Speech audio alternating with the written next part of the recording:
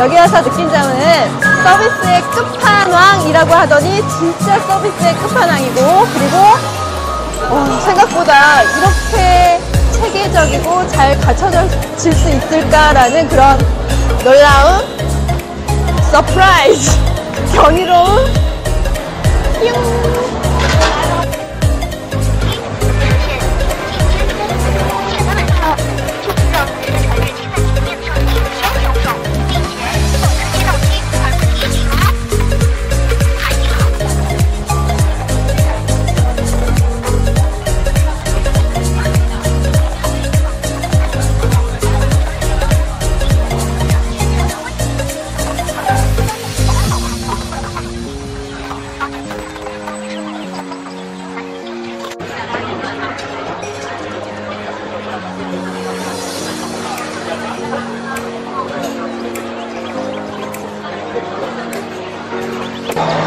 어, 허버에서 제일 중요한 육수를 만들어내는 그 기계가 무인화되어 있는데 그 기계가 사람 100사람이 하는 일을 저 기계에서 너무 단시간에 을 먼저 넣어서 드시고 그 다음에 야채를 넣어서. 순서가 처음에는 고기를 먼저. 저번에 나한테 고기랑 돼지고기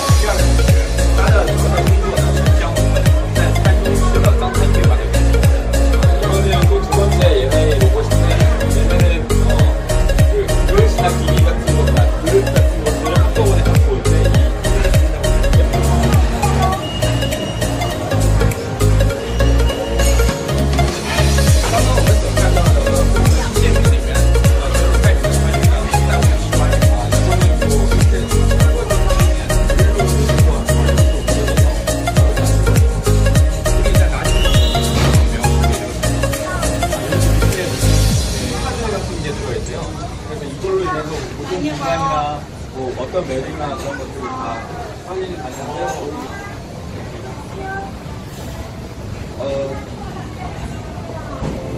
这个是 IKMS 这种主管机，它主要是呃相当于后厨所有这种法式的那个啊， 이거는 뭐 IKMS라는 주방 설비인데